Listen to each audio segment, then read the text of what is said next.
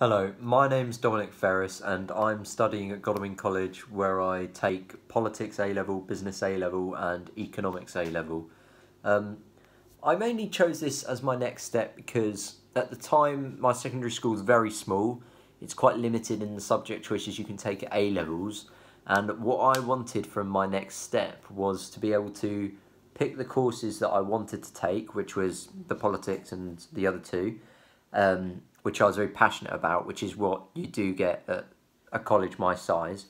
Um, but you also get a bigger friendship network. What I found at my old school was I knew people and I had friends, but not as many because the college because the school was quite small. At Godalming, the college was very big, so sometimes going to a bigger college kind of means you can meet new like more friends and new friends um, that potentially live around you or maybe live further away. But that was kind of the main reason that I decided to choose Godalming as my next step.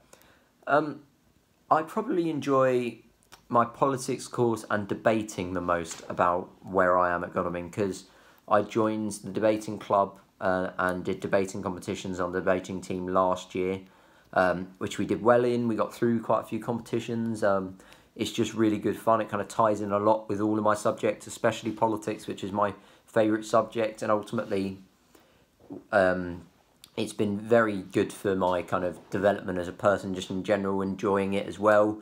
Um, it's it's one of those things you get at a big college, which you'll get at most colleges, is kind of a debating club and other clubs that you'll be interested in. So that was one of the main things I enjoy about Godalming.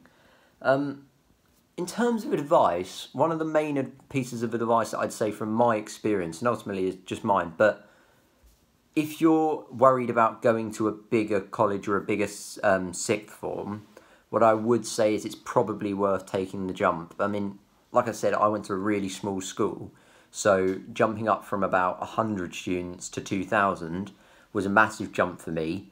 Um, it's something that my mum was certainly probably even more worried about than me, um, and I had to convince her a bit. But ultimately, once I took that jump, um, my academics have been really good once I've been at Godalming um, that and in general, when you go to bigger colleges, they tend to be really good at the kind of the academic courses or the certain ones you pick because that's what they specialise in. Those A level courses that are, that are quite specialised, whether it's like politics or whether it's psychology or any specific A level courses you take, and also like I mentioned earlier, with the bigger like friendship network and the social network around the college, um, that is because the college is quite a bit bigger so you've got people coming in from lots of areas. So you begin to know people like I know people in Guildford, Addlestone, Petersfield, Liss. So it goes all the way through counties.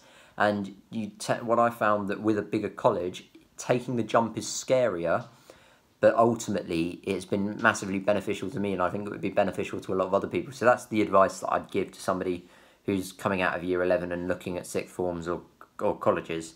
Um, and then lastly, my next steps uh, to go to university. Now I'm looking at taking a, a, course in politics and international relations. I've got five options that I'm looking at. Um, so I've applied to Durham, Bristol, Exeter, Manchester, and Loughborough, um, where I'll be taking politics and international relations the same course at any of them. Um, and I'm looking really forward to that. Just enjoying my courses more, taking it one step further, and then potentially looking towards further employment in the future. Thank you.